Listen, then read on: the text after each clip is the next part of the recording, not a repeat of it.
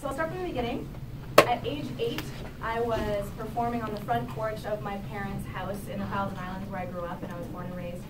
And um, by age 10, I was stepped onto my first public stage and I was performing up to 40 shows a summer. So 10 years old, 40 shows a summer, a lot of stress right off the hop. Um, in the beginning, performance for me was this freedom, it was this connection, it was this liberation, it was where I felt like I belonged. And then uh, high school happened, and bad skin happened, and bad grades, and I had sexual harassment and threats, and I also began performing solo for the first time. So that's much different than when you're up here with a group of people, and the kind of the energy and the concentration is spread over a, a, cast. I was performing solo for the first time. So stage fright started to happen. This, this triggered the beginning of my stage fright and a really, really negative lifestyle habit cycle. Um, so what began to happen is, and, and P.S. Let me just like preface this for a sec. People ask me all the time, they're like, isn't just a little bit of stage fright normal? And yes, it is.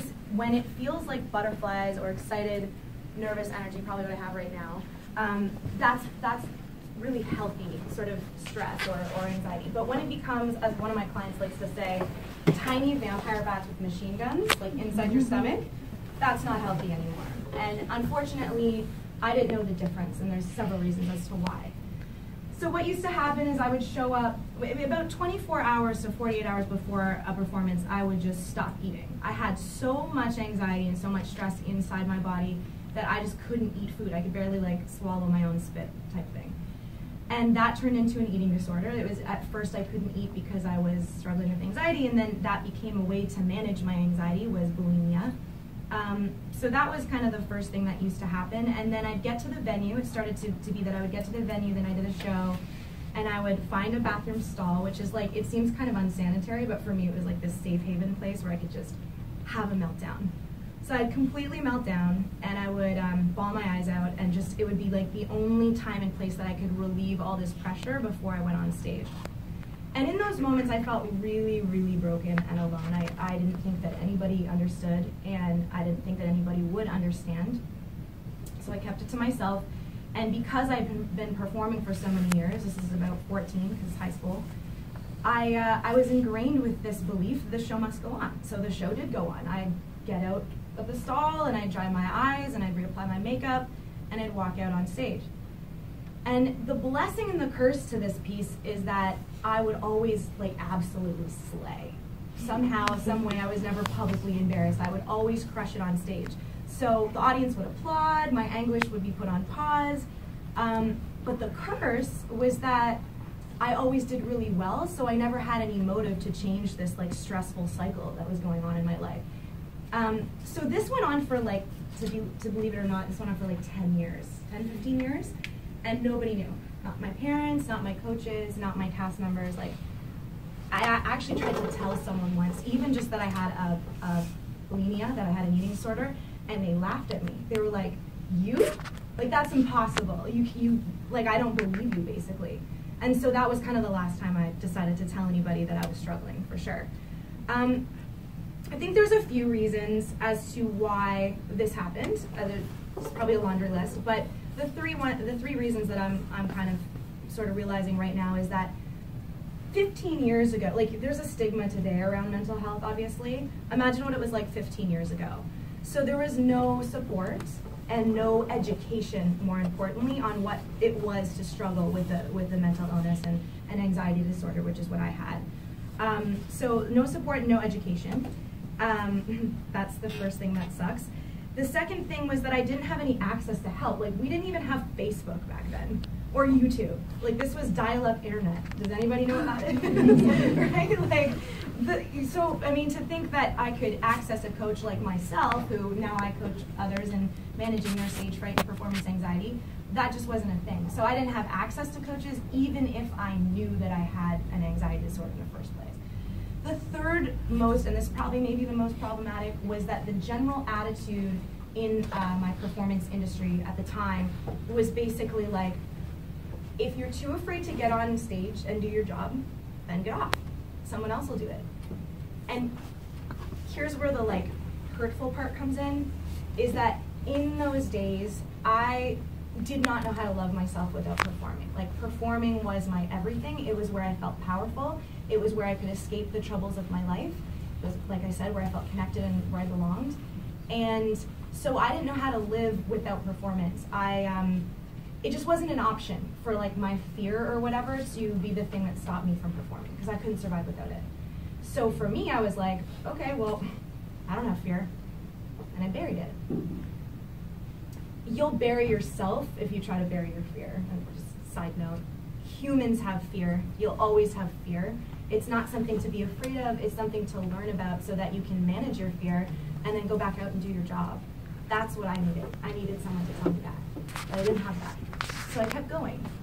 And I kept I kept the the um, cycle going. I, I was struggled with bulimia for about 10 years before I realized like, oh, I have bulimia actually. Um, I struggled with anxiety for about 15 years before I finally was able to get a grip on it. Um, and there was two pinnacle moments in my life that led to this outcome, this, this help that I got. The first pinnacle moment was that I lost my voice for a year. I was in a Grammy Award winning record deal at the time.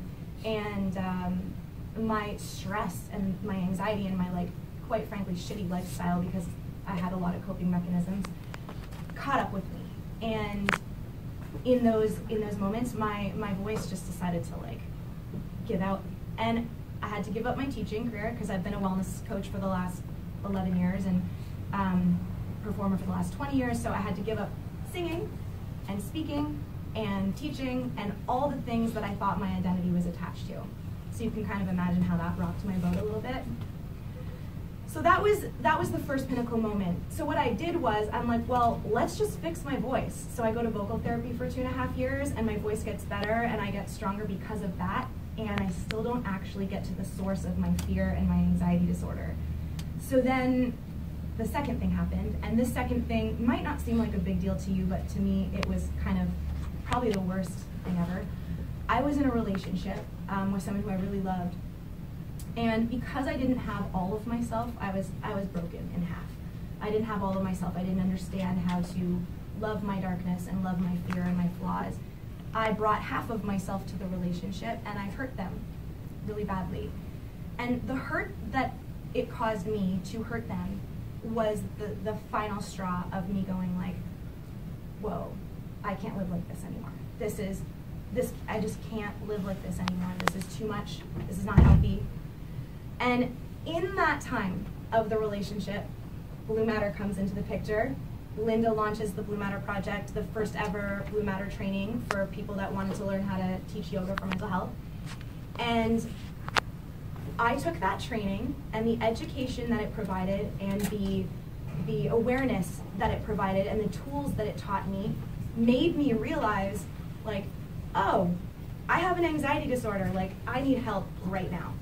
So Blu Matter was, this is why it's so important to me, Blu Matter was my connection to actually then not just go and get vocal therapy, but go into psychotherapy for three and a half years and really work out my past traumas. So that was the beginning of how I started to come out the other side. That's kind of like probably as much as I'll tell you in terms of the, my story, because there's a lot going on with my story.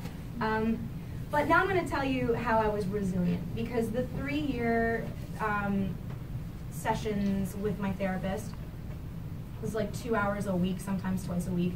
Um, that was a real, real tough one. Like I struggled in my life before I knew I had anxiety, but then when I got into therapy, it was kind of like one of those things that maybe it gets worse before it gets better.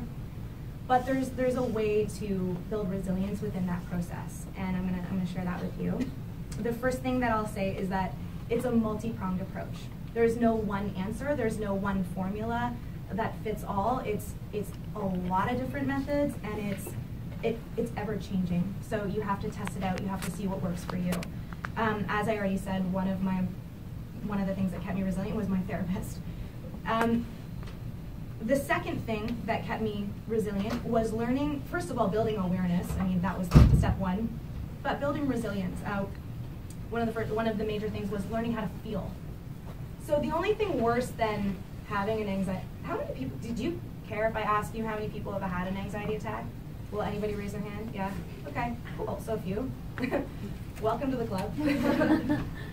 the only thing worse, in my opinion, than having an anxiety attack itself is having to hide that you're having an anxiety attack. Like being in public and just being like, how do I act normal? Now, I got really good at that because I dealt with it for like 15 years, but that's why my stuff started to come out sideways and, and my life started to fall apart because it was like, no, you can't live like this. You can't hide it anymore. You have to deal with this. So to, to allow yourself to be present with your emotions and to just feel them is one of the most empowering things you can do because it enables you to then go to the next step, which is to change. With feeling though comes tears. Sometimes all that's under an anxiety attack is a bunch of emotion, just sometimes. And so with, with feeling, I then started to allow myself to cry. Let me just like preface this by saying, I don't care what your dad said, what your mom said, what your brother said, what your teacher said, what your coach said. Crying is not weak. It's one of the most empowering things that you can do and the one of the strongest things you can do. I get it that it's uncomfortable. Like, I'm from two German descent parents, so we'll start there. I was a Sean Rio black belt karate kickboxer and a, and a competitive gymnast before I was 19. Like I know what it means to pull yourself up by your bootstraps. You know what I mean? Um, but to bottle up this feeling, to avoid feeling it, is like not the answer. As a matter of fact, pain is the worst when we're resisting it. The rest is just tears. So you think pain is the worst when you're crying, but that's actually releasing it and, and processing it right? So, so feeling and crying, two really important steps to being resilient through your process. Um, the next one was uh, leaning on support, as William Ju said. Your support system, your connections in your life is really, really, really important. That is, I think, one of the reasons that our society is breaking down is because we're so disconnected we're trying to be more connected on our by, by looking into different people's lives on our phones but all we're doing is missing the connection in the actual world around us. So i mean like i hands down believe that community is it's probably one of my most important goals this year is to build more of a community within the city of toronto which is really hard because toronto is like a nomad land you know? Um, the other ways that I built resilience was to empower myself. There's a certain amount of things that you have in your control that you can do for yourself to empower yourself. Sometimes you don't have things in your control and sometimes you do. What I had control over was like I could take myself to yoga. I was an instructor, but I could take myself to yoga and go to a yoga class. That was empowering. No, you can't yoga your demons away, but yes, you can do good for your nervous system by going to yoga. Um, meditation, journaling, breathing exercises, mindfulness exercises. No, those things don't necessarily take you out of an anxiety attack, but they do they can talk you off a ledge. And imagine where my life would be without those things. Like if I struggled that long for 15 years, imagine where I'd be if I didn't have them. Right? So it's just about trying to incorporate these things that, that talk you off a ledge and kind of take you from one place to the next, from A to B. Um, the next thing was forgiveness. I had to forgive my past and the mistakes that I made and how I hurt people, and, and I had to forgive the people that hurt me. That forgiveness led to acceptance. When you can forgive your past and when you can forgive the ways that you feel like you are a wrong person or bad, then you can start to accept yourself for all parts of who you are we are not whole without our flaws, without our feels, uh, fears, without our darkness, without our failures. We're not whole without any of those things. So, and as a whole, we deserve love. So once we can just kind of go, all right, that's a part of me, and I'm going to choose to love that, then we will be whole and we will feel a lot more confident in life rather than breaking these pieces off and stuffing them down and pretending they're not there and pretending to be perfect. it's not going to get you connection, and it's not going to make you feel like you're strong. Um, courage. It takes courage to do all of that stuff. And courage is, it's one of my, you know, in the Performance Mindset Program, which is my online course to help people overcome stage fright. Courage is like the fun, the foundation. And courage is not something that you're born with. It's not something that's in your genes. It's a choice that you can make every single day, sometimes every single second. And sometimes you will be called to be courageous every single second. And then that'll die down, and maybe you only have to be courageous every hour, and then every day, and then every month. But I implore you to choose courage over comfort. That is definitely the path to a meaningful life. And it's definitely the path to healing. So, having said all that, um, I made it. you guys made it. The world needs you. You have a message to share. Just being alive makes you valuable and makes you worthy. There were days that I didn't think I was going to make it. There were days I didn't even want to make it. I lost my passion and my purpose. But if you do the thing, if you if you take this these multi-pronged approaches, if you apply all these different types of methods and, and keep going and just choose courage, you will make it out the other side if you're struggling. You will. You just will. That is the destination. That is the destiny. Um, so I just want to end this by a few things. Two things here. One is a quote by uh, Susan David, who's a psychologist. I just heard this the other day and I thought it was awesome. Um, the, the like title is de- hashtag dead people goals. So people are constantly trying to avoid feelings of discomfort, and that's dead people goals. She says, only dead people never get unwanted or inconvenienced by their feelings.